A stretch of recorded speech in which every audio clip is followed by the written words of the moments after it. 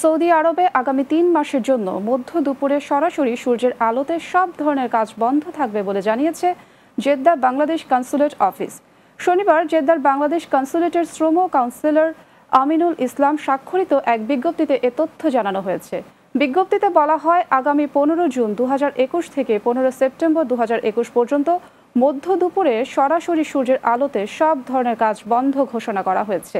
এ আদেশ জারি করেছে সৌদি মানব সম্পদ ও সামাজিক উন্নয়ন মন্ত্রণালয়। অতিরিক্ত তাপদাহের জন্য প্রতি বছর মধ্যপ্রাচ্যের দেশগুলোতে শ্রমিকদের তিন মাস সরাসরি সূর্যের আলোর নিচে কাজ করা বন্ধ রাখে।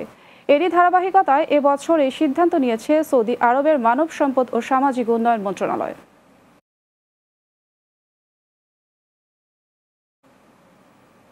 সৌদি সরকারের দেয়া বিধি নিষেধ মেনে জেদ্দা কনসুলেটের অধীনস্থ শহরগুলোতে গিয়ে সরাসরি সেবা দিয়ে যাচ্ছে কনসুলেট জেনারেল জেদ্দা টিম।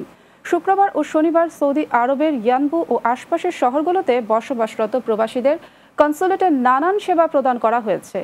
দুদিন ব্যাপী এই কনসুলার সেবায় প্রবাসীদের ভিড় ছিল চোখে পড়ার মতো।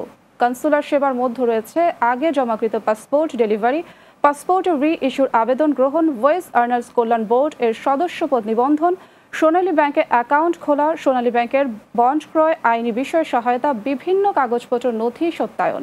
এছাড়া ইকামা বিহীন ও মেয়াদোত্তীর্ণ ইকামাধারীদের স্থানীয় মোক্তব আমেলের সহায়তায় স্পেশাল এক্সিটের নিজ দেশে ফেরত যেতে সহায়তার কাজগুলো আনা হয়েছে এই বিশেষ সেবা কার্যক্রমের আওতায়। এছাড়া আঠারো ও উনিশ জুন বিশাল রাগদান হোটেল পঁচিশ ও ছাব্বিশ জুন তাবু গাছর আল সালামাহ মদিনা রোডে কনসুলার সেবা প্রদানের জন্য সৌদি কর্তৃপক্ষের অনুমতি চেয়েছে কনসুলেট।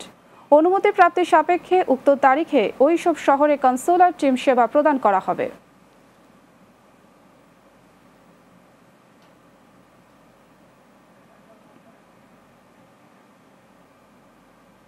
কুমিল্লার চোদ্দগ্রামে এক সৌদি প্রবাসীকে কুপিয়ে আহত করেছে ইউপি সদস্য ইউনুস মিয়া।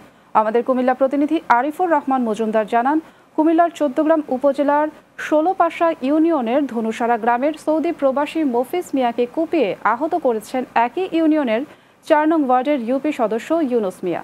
এ ঘটনায় প্রবাসীর বাবা তিতু মিয়া বাদী হয়ে চোদ্দগ্রাম থানায় ইউপি সদস্য ইউনুস মিয়া সহ চারজনকে আসামি করে একটি মামলা দায়ের করেন।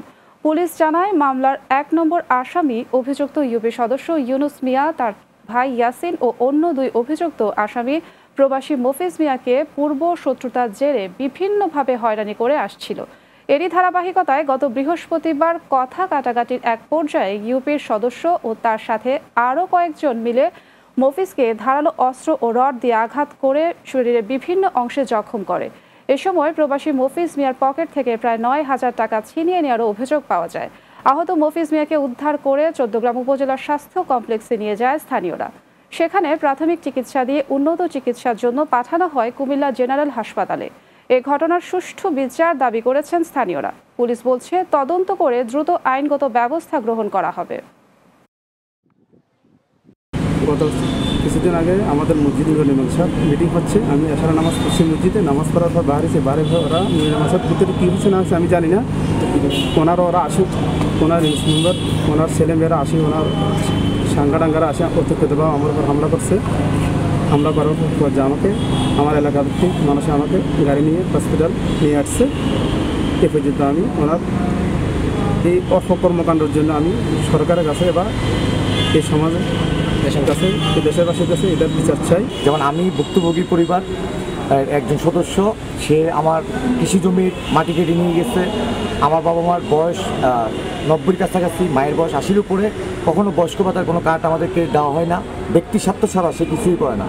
এবং বিভিন্ন অপকর্মের সাথে জড়িত কুমিল্লার এসপি মহোদয় থেকে শুরু করে আমি এমপি মহোদয়ের দৃষ্টি আকর্ষণ করছি। এই ইউনুস মেম্বার থেকে আমাদেরকে রক্ষা করেন, না হলে সমাজে আমাদের বসবাস করা কোনোভাবেই সম্ভব না।